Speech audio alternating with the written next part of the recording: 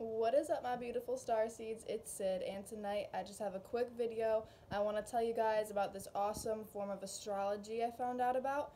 This is Cooper, my roommate's dog, but it is called Draconic Astrology, so Google it.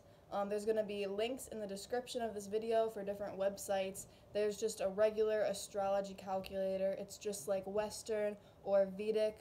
So the original 12 zodiac signs, okay? Um, I'm not going to go over what they all mean. I have other videos with that. So my astrology playlist is also in the description of this video. I highly recommend you check that out.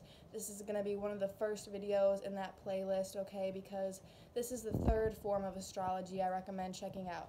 Okay, Western is great. It's the kind everyone hears about. Vedic, Indian, Hindu, you know, also great. I like to use that for past life connections, but Draconic is maybe even better for past life connections, okay?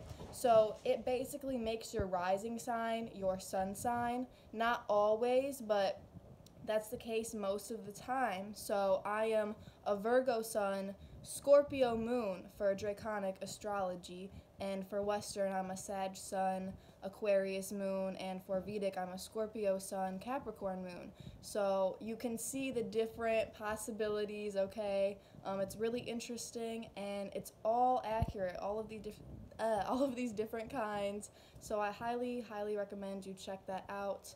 Um, slurring your words, stuttering is also an ascension symptom, so I recommend checking out all of that stuff about the Great Awakening. I have um, a playlist called Awakening, so please check that out. They're in the description of this video. Um, I just wanted to share this awesome new form of astrology with you guys, so please go to one of those websites, put it in the calculator, and see your signs. I hope you have a great week. Love and light, and the hybrid children are coming soon.